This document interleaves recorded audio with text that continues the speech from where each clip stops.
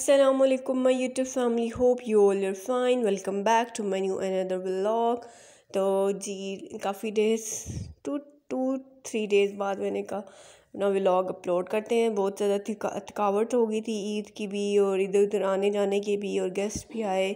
تو تھکاوٹ سی تھی، طبیعت بھی تھوڑی سیٹ نہیں تھی۔ تو میں نے کہا، چلو تھوڑا ریسٹ کرتے ہیں اور پھر آرام سے نا ایک ولاگ وغیرہ بنانا دوبارہ سٹارٹ کریں گے۔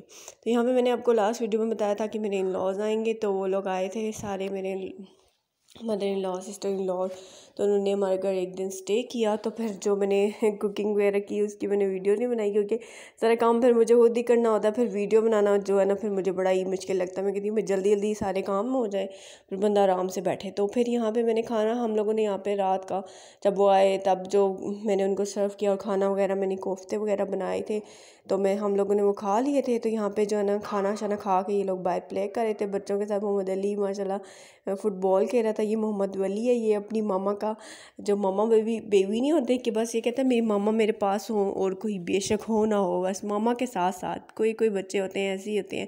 رہا جو ہے نا رائحہ پہلے جب چھوٹی تھی تب ایسے کرتی تھی، لیکن اب بڑی ہو گئی تو اب اس کو اتنا نہیں ہوتا۔ تو یہ محمد علی بھی اپنے ماموں کے ساتھ کھیل کے آ گیا ہے تو اس کی اسمائل چیک کریں، ماما کو دیکھ کے سارے بچے ہی ماشاء اللہ سے ماما سے بہت کرتے ہیں۔ اس کی اسمائل آپ چیک کریے گا، ماما کو دیکھ کے کتنا پیارا ماشاء اللہ سے اسمائل کرے تو ماشاء اللہ ضرور بولیے گا۔ دونوں ٹوینز ہیں ماشاء اللہ تو پھر ہم لوگوں نے کھانا شانا کھایا۔ صبح بھی پھر ہم رات کو سوئے، صبح اٹھے، ناشتہ وغیرہ ہم لوگ میرے ہسبینڈ باہر سے لے آئے تھے۔ پھر ان کو ہم نے ناشتہ وغیرہ کرایا۔ پھر میں نے دن کا کھانا بھی بنا لیا تھا۔ میں نے کہا پھر باہر جانا ہے۔ کہ ہمارا پلان بنا تھا تو میں نے کہا لیٹ ہو جائیں گے تو کھانا وغیرہ بنا دیتے۔ اور وہی بات ہوئی کہ اتنا لیٹ ہو گئے۔ ٹائم اتنا ہو گیا کیونکہ بچے ہیں، ان کو ریڈی کرتے کرتے کوئی سو گیا بچہ، پھر اس کے اٹھنے کا ویٹ تو پھر اتنا ٹائم ہو گیا تھا، پھر ہم لوگ نا کھانا کھا کے ہی نکلے۔ تو موسم ایسا تھا کہ ہم لوگوں نے دور جانے کا، اسلام آباد کی طرف جانے کا پلان کیا تھا، لیکن موسم کو دیکھ کے نا ہم لوگوں نے پلان کینسل کیا۔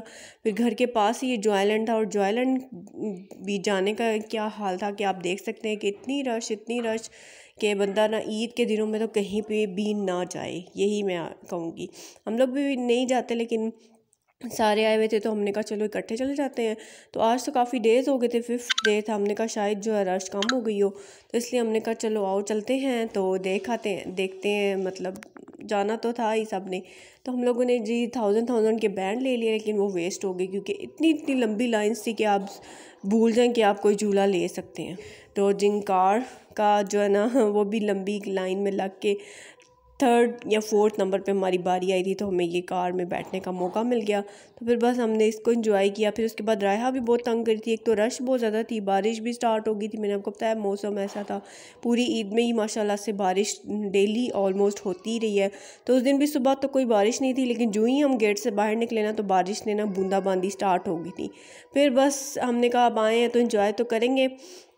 تو میں نے تو بس ایک دو دن کار لی، اس کے بعد رائحہ بہت تنگ کی تھی۔ میں نے کہا، چلو آؤ، رائحہ کو پہلے خوش کر لیتے ہیں، میری خیر ہے، میں تو تھاؤزنڈ روپیز ویسٹ ہو گئے کیونکہ میں نے اس کے علاوہ کوئی اور جھولا لیا ہی نہیں، صرف ایک۔ میں نے، میرا دل تھا کہ چلو میری نند بھی ہے تو ہم لوگ مل کے نا۔ ویسے میں اکیلی ہوتی ہوں میرے ہسبینڈ تو اس طرح جھولے وغیرہ نہیں لیتے، ان کو شوق نہیں۔ تو میں نے کہا چلو ہوگی تو مل کے نا انجوائے کر لیں گے۔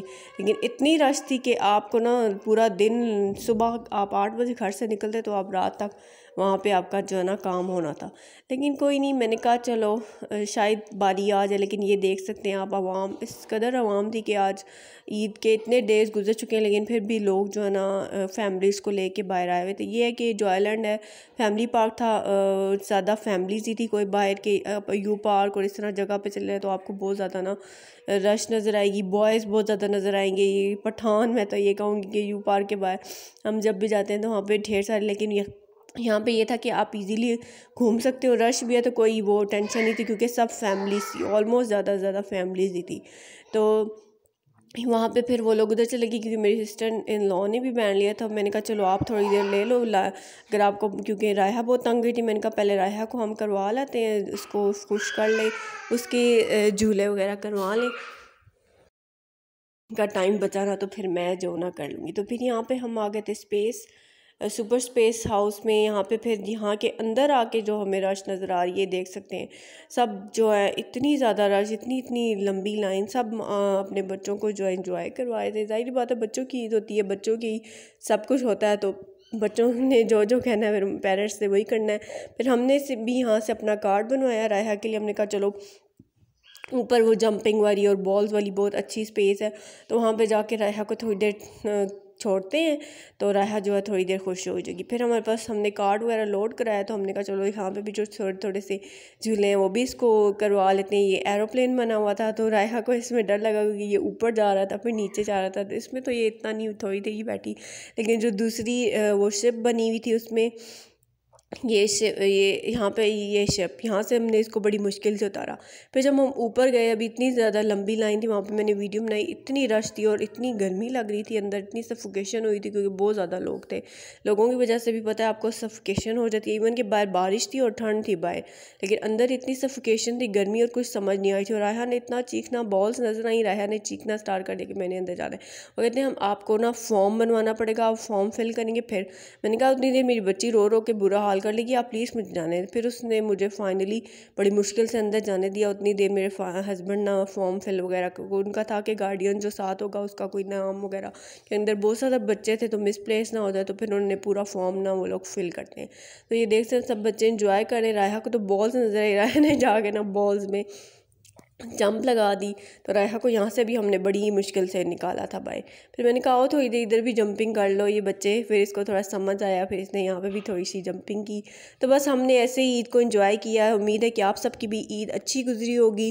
تو بس یہی تھا میرا آج کا ولاگ امید آپ کو پسند آیا ہوگا۔ ملتے ہیں نیکسٹ ولاگ میں۔ اللہ حافظ۔